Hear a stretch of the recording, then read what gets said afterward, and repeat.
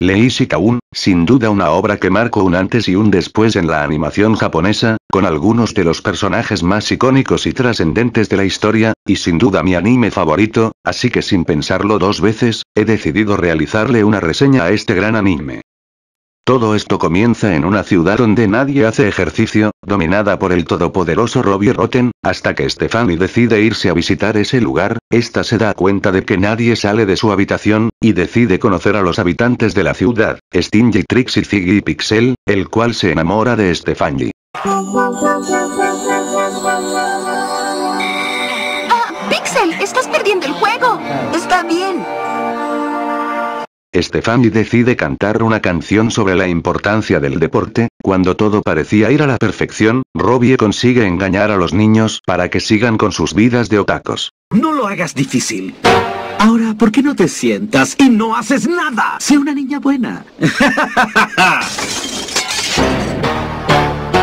En eso Stephanie entra en una depresión y decide pedirle ayuda a su tío, el alcalde, y este le dice que puede pedirle ayuda al guardián número 9, a lo que Stephanie acepta, Robbie Rotten intenta detenerla, pero sus intentos terminan siendo en vano, Stephanie consigue llamar a un guardián. ¿Tú eres el número 9? ¿No? Soy el número 10. Mi nombre es Sportacus. Soy Stephanie. Gusto en conocerte. Sportacus demuestra sus increíbles habilidades salvando a los habitantes de la ciudad de distintas maneras, pero esto provoca la ira de Robbie Rotten, ya que en una ciudad en la que él era considerado un dios, ahora sería simplemente alguien más del montón. Ellos no arruinarán Lazy Town. Yo me encargaré de eso. Así que decide tenderle una trampa a Sportacus, en la que termina cayendo la alcaldesa, y esta termina siendo rescatada por Sportacus, al ver la crisis en la que se encontraba la ciudad, Sportacus decide quedarse a proteger a sus habitantes, frustrando de esta manera cientos de los planes de Robbie Rotten, pero este sería el comienzo de una eterna rivalidad. Los detendré, aunque sea lo último que haga. Así, Lazy Town será aburrida para siempre.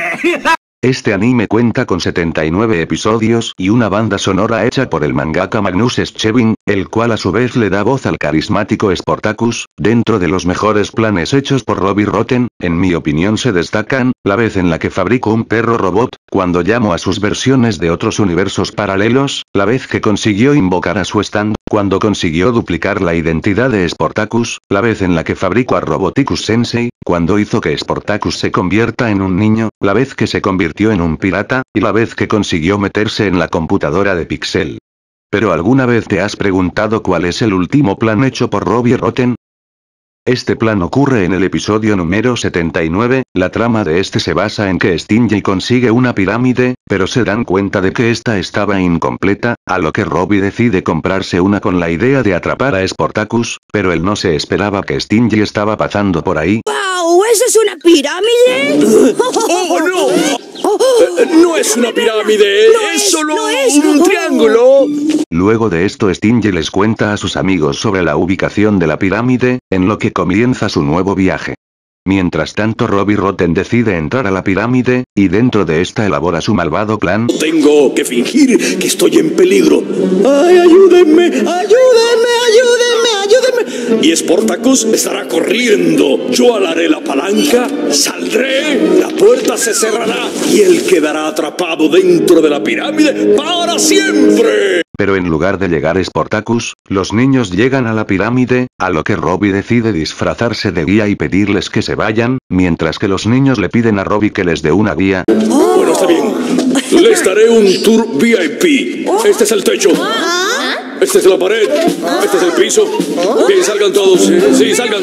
Luego de esa excelente guía, el pendejo de Stingy no queda conforme y comienzan la búsqueda del tesoro, ignorando a Robbie, el cual, accidentalmente se disfraza de una monia, Stingy finalmente encuentra su tesoro, y al momento de sacarlo el piso comienza a colapsar, lo que provoca que los niños continúen su aventura, en lo que Ziggy presiona un botón que provoca que una roca gigante los persiga, y Sportacus al darse cuenta, decide entrar en acción, ¡Es por tabla!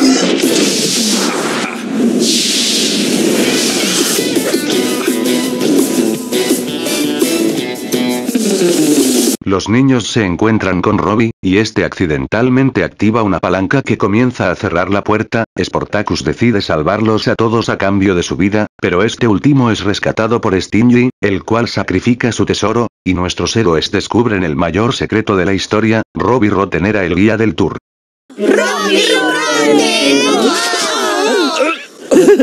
Y así termina nuestro tour.